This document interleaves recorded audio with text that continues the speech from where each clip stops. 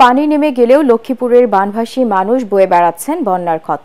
সরকারি সহায়তা না পাওয়ায় পানিতে ধসে পড়া ঘর এখনও মেরামত করা সম্ভব হয়নি। বাধ্য হয়ে রাস্তার ওপরেই দিন কাটছে তাদের। কাজ না থাকায় তীব্র অর্থ সংকটে দিশেহারা এই অঞ্চলের নিম্ন আয়ের মানুষ।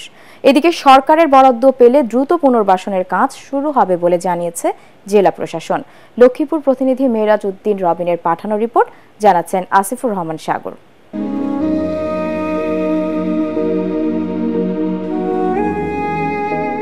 লক্ষ্মীপুর জেলার পাঁচ উপজেলার প্রায় পঞ্চাশটি ইউনিয়ন ও চারটি পৌরসভার বিভিন্ন এলাকায় দীর্ঘমেয়াদী বন্যায় চরম মানবেতর জীবন কাটাচ্ছেন নিম্ন আয়ের মানুষ। পানিতে ডুবে থাকা মাটির ঘরগুলো ধসে গেছে, কাঠ ও টিনের তৈরি ঘরগুলো জরাজীর্ণ। অনেকেই ঘরবাড়ি হারিয়ে রাস্তায় উঠে এসেছেন। ঝুপড়ি ঘর বানিয়ে সেখানেই কাটছে তাদের অনিশ্চিত জীবন। সরকারের উপদেষ্টা ও বিভিন্ন রাজনৈতিক দলের নেতারা বন্যার্ত এলাকা ঘুরে পুনর্বাসনের আশ্বাস দিলেও এখনও সেসবের দেখা মেলেনি বলে জানান বানভাসী মানুষেরা। খুব কষ্টের মধ্যে আছি। আমার ঘর দুয়ারের নাই করলে অবশ্য চলে। বাঙ্গি সুরি হইতে রয়েছে রন্ড বান্ড সোলাই বোলাই চাই ঘর মধ্যে যে চাই এগুলো আমরা বিসর্জন করেন ব্যাগ বাঙ্গি চুরি হয়েছে ঘরে বন্যা রানিয়ে বেড়া গোড়া সব চলা দিছে কিচ্ছু রয় ঘর দেন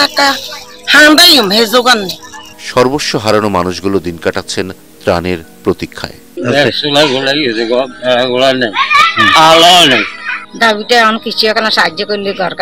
পারে মন্ত্রণালয়ের বরাদ্দ পেলে অগ্রাধিকার ভিত্তিতে ক্ষতিগ্রস্তদের মধ্যে তা বন্টন করা হবে বলে জানালেন জেলা প্রশাসক। আমরা আশা করছি যে এই টাকাটা পাওয়ার পর যারা ক্ষতিগ্রস্ত হয়েছে, বিশেষ করে ঘরবাড়ি এবং অবকাঠামোর ক্ষেত্রে, তাদের প্রত্যেককে আমরা সহায়তা দিতে পারব, যেটি পুনর্বাসনের ক্ষেত্রে খুব কার্যকর ভূমিকা পালন করবে।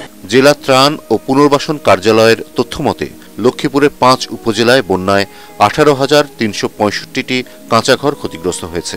মেরামতে প্রয়োজন হবে প্রায় একশো ছাব্বিশ কোটি চোদ্দ লাখ আশি হাজার টাকা। Bureau report, ATN Bangla.